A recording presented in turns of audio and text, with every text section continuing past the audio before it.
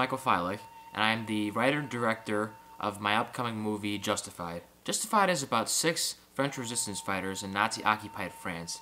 The story takes place within the coming days of the D-Day invasion. In the heat of the moment, a German officer is taken hostage by the boys, and the decision of what to do with the officer becomes the dilemma as the D-Day invasion approaches. I think it's a nice blend of, you know, that coming of age story and that nice action-packed thriller that we're used to.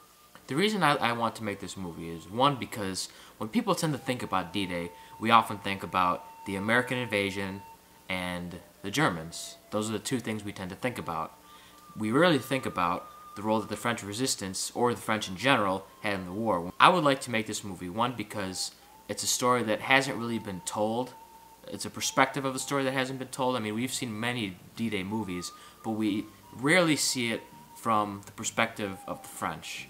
At my school, I have I am blessed with one of the most high-tech film departments. We have some of the most high-tech equipment and uh, some of the most experienced staff.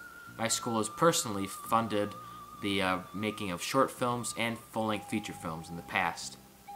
Over spring break, I, I, managed to go to the actual location of where the D-Day invasion took place, and I got a big history lesson, as well as hours of footage from mere locations that will be making an appearance in the film.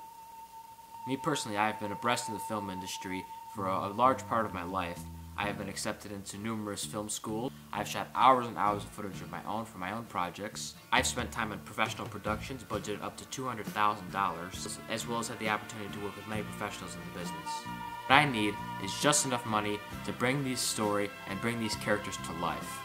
I think this is a reasonable amount due to the fact of uh, high production costs, including um, finding period costumes, finding the correct props, and finding the authentic looking locations. And um, with this uh, extra kick, I believe that we'll be able to make this story happen, and I uh, hope that um, you agree.